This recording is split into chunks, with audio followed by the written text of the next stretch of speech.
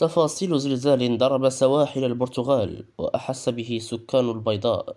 ضربت هزة أرضية قوية فجر اليوم الاثنين سواحل البرتغال غير أن المغاربة أحسوا بقوتها في بعض المدن خاصة أولئك المتواجدين بمدينة الدار البيضاء. وكشف ناصر جبور مدير المعهد الوطني للجيوفيزياء في توضيح أن الهزة الأرضية التي سجلت بالسواحل البرتغالية بلغت قوتها 5.8 درجات على سلم ريختر وأكد ناصر جبور أن قوة هذه الهزة الأرضية وصل مداها إلى المغرب خاصة مدينة البيضاء التي استشعر بها المواطنون بهذا الزلزال.